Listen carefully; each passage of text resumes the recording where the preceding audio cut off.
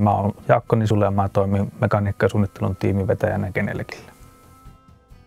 Genelek tekee aktiivisia tarkkailukaiuttimia erityisesti ammattikäyttöön, eli ihmisille, jotka työskentelee äänen parissa ja paikoissa, jossa, jossa tuotetaan ääntä. Genelekin kaiuttimet pyrkii mahdollisimman luonnonmukaiseen äänentoistoon, eli silloin äänittäjä tietää, että se äänitys kuulostaa oikealta kaikissa, kaikissa tilanteissa, missä sitä kuunnellaan. Mekaniikkasuunnittelussa me suunnitellaan kaiuttimen fyysisiä komponentteja, niiden valmistustapoja, materiaaleja, miten ne kootaan. Suunnittelussa määritellään esimerkiksi materiaalin valinnat ja niillä voi olla iso vaikutus siihen tuotteen ympäristöjalanjälkeen myös ja sen tuotteen pitkäikäisyyteen.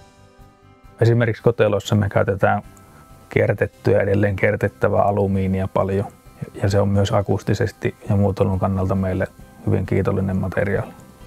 Meidän muotoilun lähtökohta on tarkoituksenmukaisuus.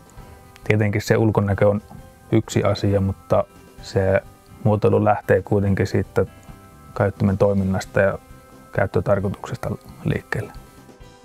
Konetekniikka on antanut tähän hyvän pohjan, että siinä saa hyvän käsityksen erilaisista valmistusmenetelmistä ja niiden tuntemus on tärkeää suunnittelutyössä, että osaa, osaa suunnitella valmistettavia kappaleita. Yksi asia, mikä on viime vuosina kehittynyt paljon, on fysiikan mallinnus eli simulointityökalut. Ja niillä me voidaan simuloida esimerkiksi sitä, että miten ääni säteilee tuosta käytinkotelosta eteenpäin. Ja sillä me saadaan erilaisten prototyyppien tarvetta vähennettyä, mikä sitten nopeuttaa sitä suunnittelusykliä.